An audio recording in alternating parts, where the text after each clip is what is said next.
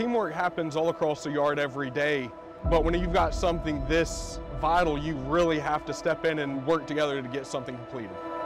It's just overwhelming the amount of work that everybody does, the part everybody plays. It took weeks of planning, a lot of prep work. The goal of ship turnaround is get us to builder's trial.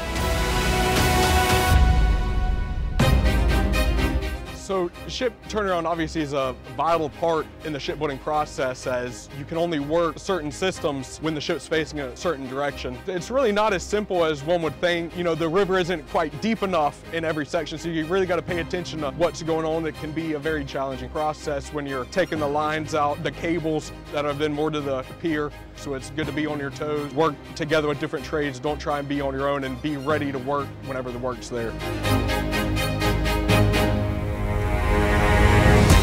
Surround yourself with great people and great things happen. Building an aircraft carrier, it's pretty impressive.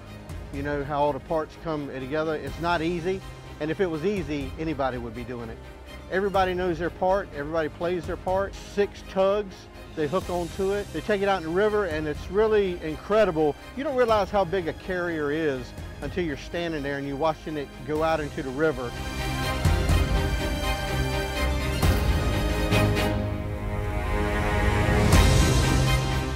It's not only about the shipbuilders, it's about the people that supply the stuff to the shipbuilders. You got your warehouses, your material team, your vendors, your people that are pushing the vendors to get the material here so we can finish the carrier.